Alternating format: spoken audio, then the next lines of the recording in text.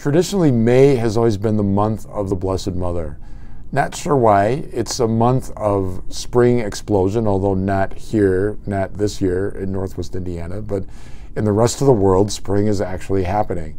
So it's a month of great new life, um, fertility, the world coming back to its um, beauty. And we see in Mary that that fertility, that creativity of God, that through her um, Jesus became flesh in our midst. And the creativity of Mary in saying yes to God's plan and in putting her life at the service of the Word.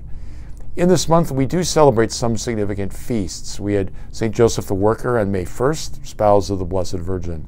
May 13th is the feast day of Our Lady of Fatima.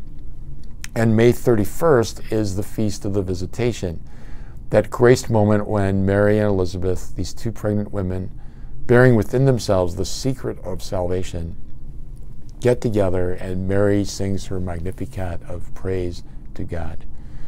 So in the Blessed Mother, we, we see the victory of the resurrection, this, this mother with the pierced heart who stood at the foot of the cross as a solitary witness, as a sentinel in the darkest of nights to the possibility of hope and to the truth of the resurrection even though it doesn't say it in the scriptures, you have to believe that the first person that the risen Christ appeared to was his mother.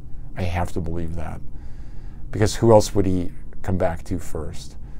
So picture that scene Jesus saying, Mom, I'm back. You know, Mom, I'm raised from the dead.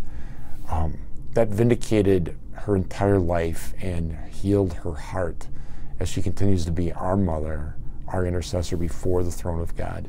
It's a great month to rediscover the rosary or to practice some other particular Mary devotion. A lot of our schools crown the statue of Mary this month. What a beautiful, beautiful custom. We, we pray to Mary as our mother and our queen.